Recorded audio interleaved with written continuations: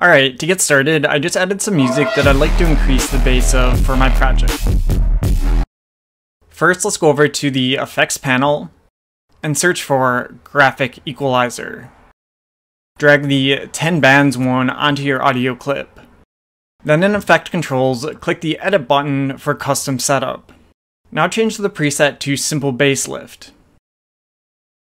If you want even more of a lift, you can increase the other bars a little bit that were already raised by the preset. Okay, now when I play this back, I have a nice bass boost. But yeah, that's all for me, so as always, thanks for watching, and see you next time.